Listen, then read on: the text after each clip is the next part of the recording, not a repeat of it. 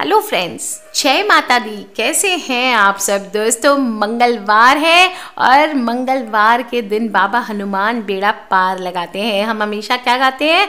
आज मंगलवार है, बालाजी का वार है। सच्चे मन से जो कोई ध्यावे, उसका बेड़ा पार है। दोस्तों, बोलिए बाबा हनुमान की जय।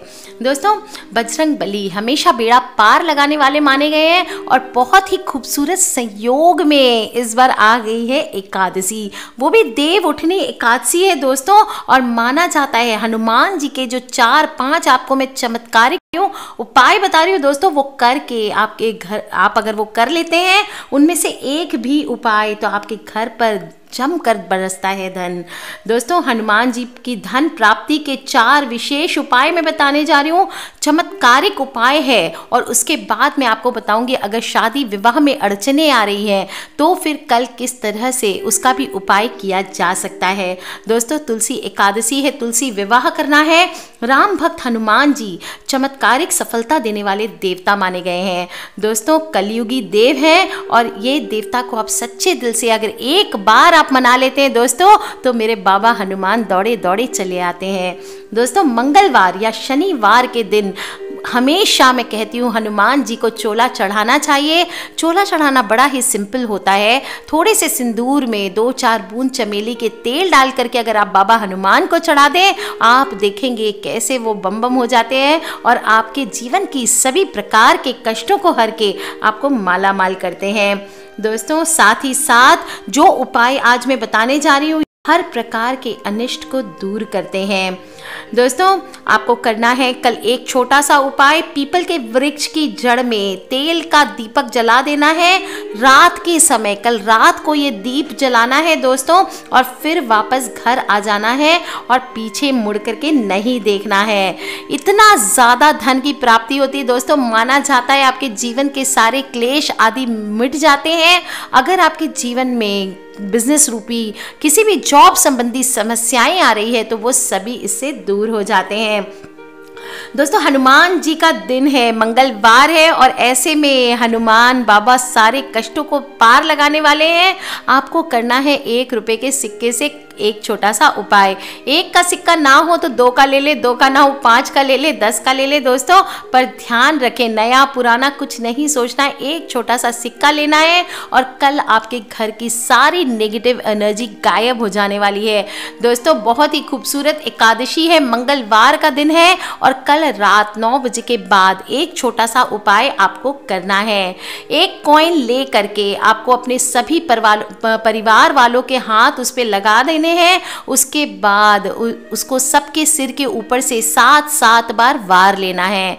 इसके बाद उस सिक्के को अपने मंदिर में ले जाएँ, उस पर तिलक और चावल करें। इसके बाद उस सिक्के को आप अपने सिर के ऊपर से घुमाकर अपनी छत पे जाके या अपनी बालकनी में जाके किसी भी खाली लैंड में या किसी मंदिर में जा करके अपने सिर के ऊपर से उसको पीछे फेंक देना है। दोस्तों, आप देखेंगे आपके घर के जितनी भी नेगेटिव एनर्जी है, उस सिक्के के साथ चली जाती है। अगर आप कहीं स्नान करने जाने वाले हैं तो आप ये उपाय को आप किसी समुद्र या तालाब में भी कर सकते हैं। दोस्तों, आज मैं आपको एक छोटी सी बात बता दूँ। ये जब आप उपाय करने जाएँगे, आपको ये दो बातों का ध्यान रखना है। एक तो आपको किसी से बातचीत नहीं करनी है और दूसरा आपको पीछे मुड़ के दोबारा नहीं देखना है। दोस्तों, अगर धन लाभ की आपके जीवन में स्थितियाँ बन रही है, किंतु फिर भी धन लाभ नहीं मिल रहा है तो मंगलवार का दिन है, एकादशी का दिन है। दोस्तों, गोपी चंदन अगर मार्केट में आपको मिल जाए किसी भी पूजा शॉप में तो उसकी नौ टिक्कियाँ ले करके केले के वृक्ष पे आपको टांग देनी है। ध्यान रहे दोस्तों, ये जो चंदन है, ये पीले धागे से आपको बाँध करके ही आपको केले के वृक्ष पे टांग देना है। या फिर आप दूसरा उपाय भी कर सकते हैं, एक नारियल पर थोड़ा सा सिंदूर ले लें। अगर आपके पास कामिया सिंदूर, यानी कि कामाख्या देवी का सिंदूर है तो आप उससे ये उपाय कर सकते हैं। और अगर वो नहीं है तो नॉर्मल सिंदूर ले लें, उस पर थोड़ी सी मौली ले लें, अक्षत ले लें, अर्पित करके पूजन करें। और हनुमान जी के मंदिर में जाकर गुड़ चने के साथ भोग लगा करके, वहाँ चढ़ा दें उस नारियल को, वापस नहीं लेकर के आना है और गुड़ चना थोड़ा सा वहाँ पर सभी जितने उपस्थित जन हैं, उनको खिलाएँ। अगर कोई बंदर है तो उसको प्रसाद चढ़ाएँ। बाकी का गुड़ चना आप घर लेकर के प्रसाद के रूप में ले आएँ। रात में आप एक काम कर लेते हैं, रात को नौ बजे के बाद ये उपाय करना है दोस्तों। कच्ची घानी का तेल, यानी कि सरसों के तेल में एक दिया जला लें। उसमें दो लौंग आप डाल लें और डाल करके एक आप वो दीप को हनुमान जी के सामने जला करके एक हनुमान चालीसा का पाठ कर लें। उसके बाद उसी उसी दीप से आपको हनुमान जी की आरती करें। कोई भी आरती गा लें। आरती कीजिए हनुमान लला की, दुष्ट दलन रघुनाथ कला की। कोई भी आरती जो आपको आती हनुमान जी की, वो आप कर ले दोस्तों। आपके घर पे अगर बिना बात के संकट आ रहे, मुसीबतें से, पर मुसीबतें आ रही है, आप चाह करके भी उनको दूर नहीं कर पा रहे। दोस्तों, बहुत ही खूबसूरत एकादशी आई है। इससे संकट तो दूर होगा ही। साथ ही माना जाता है, अचूक धन की प्राप्ति भी होती है। दोस्तों, अब मैं आपको बताती हूँ कि लड़कियों के विवाह के लिए अगर शादी में रुकावटें आ रही है तो देव उतनी एकादशी को दोस्तों ज़रूर करना है। आपको ये चमत्कारी उपाय और देखेंगे आप, जल्दी ही बजेगी शहनाई। दोस्तों, जो भी मनुष्य इस दिन भगवान विष्णु का अभिवादन करते हैं, समस्त दुखों से मुक्त होकर के, जन्म मरण के चक्र से मुक्त हो जाते हैं। दोस्तों, कार्तिक एकादशी को, यानी कि आपकी थर्टी फ़र्स्ट अक्टूबर 2017 को देव उठानी एकादशी हम मनाने जा रहे हैं दोस्तों, और ब्रह्म वैवर्त पुराण के अनुसार आषाढ़ शुक्ल की एकादशी को भगवान विष्णु ने शंखासुर नामक राक्षस को मारकर भारी थकावट से शयन कर कार्तिक शुक्ल एकादशी को जागे थे। दोस्तों, इसके बाद ही सभी मांगलिक विवाह कार्य आदि आरंभ होने का विधान है, लेकिन इस साल वो भी नहीं हो रहा है दोस्तों। ये मैं बताऊँगी आपको अगले वीडियो में, लेकिन अभी फ़िलहाल मैं बता दूँ, आपको कौन कौन से उपाय करने हैं, नहीं तो फिर कंफ्यूजन हो जाएगा। दोस्तों, इस दीपोत्सव के बाद ग्यारहवें दिन आने वाली इस एकादशी को प्रबोधिनी एकादशी मानते हैं, और श्री हरि कृपा के अनुसार दोस्तों, शांति प्रदाता, संतति दायक, यानी बाल बच्चे की सुख के लिए, उनकी अगर संतान किसी को नहीं आ रही है तो उनके लिए, बुद्धिमान बनने के लिए, इन सभी के लिए इस व्रत को करना ज़रूरी होता है। विष्णु पुराण के अनुसार अगर किसी भी कारण से, चाहे लोभ हो या मोह हो, उससे वशीभूत होकर के मनुष्य एकादशी तिथि को भगवान विष्णु का अभिवंदन करते हैं तो समस्त दुखों से मुक्त होकर जन्म मरण के चक्र से मुक्त हो जाते हैं। दोस्तों, माना जाता है, ऐसा भी माना जाता है, जो लोग एकादशी का व्रत या स्तुति नहीं करते हमारे वैष्णव धर्म में कि नरक का भागी होता है वो मनुष्य। दोस्तों, अगर आपको भी सुख संपदा की कामना है, धन धान्य चाहते हैं, मुक्ति चाहते हैं, संतान सुख चाहते हैं तो आपको एकादशी के दिन देव उत्थानी एकादशी के दिन विष्णु स्तुति करनी है। विष्णु सहस्त्र नाम का पाठ करें, शालीग्राम जीवत तुलसी महिमा का पाठ करें, व्रत रखें और शाम के समय तुलसी पूजन करें, दीप दान करें। सुबह देव उठाएँ, मैंने बहुत सारे वीडियोस इस बार दिए हैं। आपको देव उत्थानी एकादशी के दोस्तों तो आप लोग सुबह सुबह अपने घर पे एक छोटा छोटा सा फ़ंक्शन करके देव उठाएँ और दोस्तों पद्म पुराण के अनुसार, कार्तिक माह में शुक्ल पक्ष में जो ये एकादशी आ रही है, इसमें शालिग्राम के विवाह का पर्व मनाया जाता है तुलसी माता के साथ। अगर संकल्प आपने किया है बेटी के विवाह में या बेटे के विवाह में देर हो रही है तो तुलसी विवाह का संकल्प लें और उसको संपूर्ण करने से मनुष्य सुखी, समृद्ध होता है। साथ ही साथ विवाह में जो भी बालक के या बालिका के विवाह में अड़चने आ रही है, वो सभी इस बार दूर हो जाते हैं। जो भी विवाह योग्य, जिन बच्चों की जन्म कुंडली में मांगलिक दोष से हो, उसके कारण विघ्न आ रहा है तो दोस्तों मंगलवार का दिन है, एकादशी है, खूब, बहुत ही खूबसूरत संयोग है।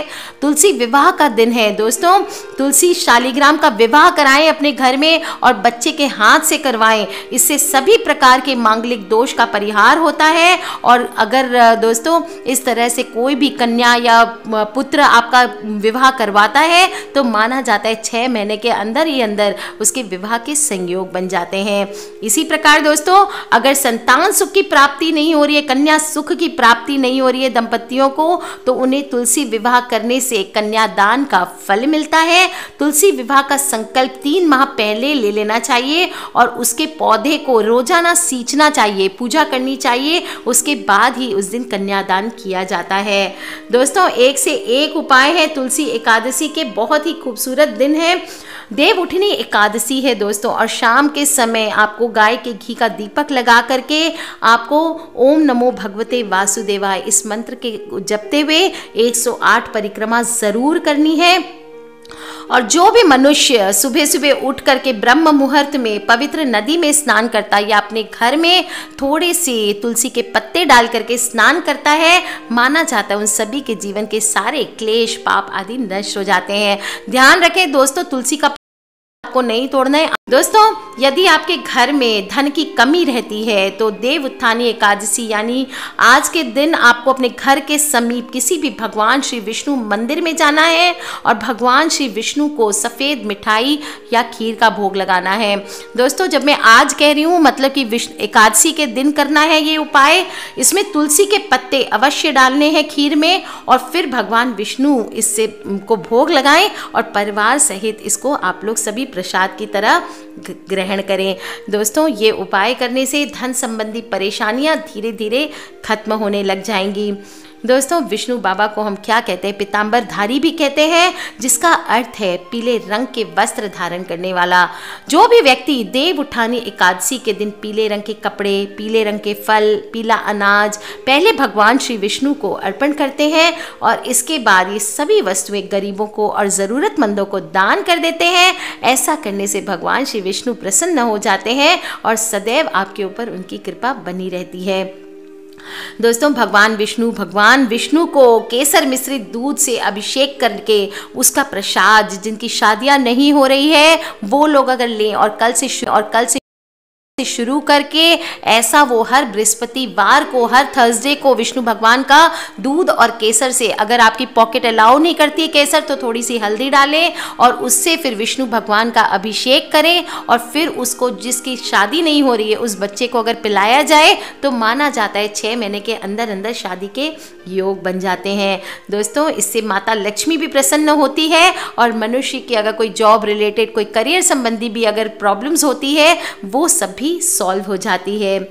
अगर आपका, आपके घर पे या कोई आपके जानकार में व्यक्ति कर्ज से परेशान है दोस्तों तो बहुत ही खूबसूरत उपाय है। देव उत्थानी एकादशी के दिन उनको पीपल के वृक्ष पर जल ज़रूर चढ़ाना चाहिए और शाम को दीपक लगाना है। 108 परिक्रमा करनी है। ओम नमो भगवते वासुदेवाय। ऐसा बोलते हुए, ऐसा करने से बहुत जल्दी कर्ज से मुक्त होने लगेंगे। जिस किसी व्यक्ति को भी धन संबंधित दूसरी परेशानियाँ हैं, वो अगर देव उत्थानी एकादशी के दिन पाँच माला का जप करेंगे तो धन की जो कामना है, वो व्यक्ति की पूर्ण हो जाती है। दोस्तों, मंत्र कौन सा है? ओम लिंग एंग क्लिंग श्रिंग। क्या बोलना है आपको? ओम लिंग एंग क्लिंग श्री फिर से बोलो? ओम लिंग एंग क्लिंग श्री ऐसा बोल करके आपको पाँच माला का जप करना है। दोस्तों, यदि देव उत्थानी एकादशी वाले दिन दक्षिणावर्ती शंख में जल भर के भगवान श्री विष्णु व माता लक्ष्मी का अभिषेक किया जाए तो दोनों की कृपा बरसती रहती है। दोस्तों, कुछ रुपए, कुछ पैसे आप बहुत ही कमाल का उपाय है दोस्तों। कल आप लक्ष्मी पूजन भी करें, माता विष्णु भगवान के साथ साथ और कुछ पैसे जिन्होंने दिवाली पे अगर नहीं रखे आपने थोड़े से पैसे, और वो तो कुछ रुपए या एक चांदी का सिक्का आप पूजन में चढ़ाएँ, उसकी भी पंच उपचार पूजा करें, और नेक्स्ट डे मॉर्निंग में पारण, जब व्रत का पारण कर लेंगे आप, उसके बाद अगले दिन उस रुपये को ले करके अपने पर्स में रख लें। दोस्तों, आप देखेंगे पर्स में हमेशा बरकत रहेगी। रहेगी। कभी भी आपका पर्स खाली नहीं रहेगा, कहीं ना कहीं से पैसा उसमें सदा बना रहेगा। दोस्तों, यदि बहुत सारी मेहनत करने के बाद भी आपकी आमदनी में बढ़ोतरी नहीं हो रही है, नौकरी में प्रमोशन नहीं हो रहा है तो देव उत्थानी एकादशी बहुत ही खूबसूरत समय है दोस्तों। सात कन्याओं को आप अपने घर पर भोजन कराएँ, विशेष रूप से भगवान विष्णु को भोग लगा करके खीर खिलाएँ। ऐसा करने से भी मनुष्य की सारी समस्याएँ दूर हो जाती है। दोस्तों, एक से एक उपाय है। बहुत सारे मैंने आपको उपाय बताए हैं, लेकिन आपको सारे नहीं करने हैं। कोई भी एक करे या एक से अधिक करे, कम से कम हनुमान जी का एक उपाय आपको करना है और एक उपाय आप विष्णु भगवान का करें। और दोस्तों हाँ ध्यान रखें, आपके जो भी नज़दीकी लोग हैं फ्रेंड्स और फैमिली हैं, उन मुसीबत में हैं, उन सबसे ये वीडियोस को ज़रूर शेयर किया करें, क्योंकि हमें नहीं पता होता है दोस्तों कौन सी वीडियो कब किसकी लाइफ बदल सकती है।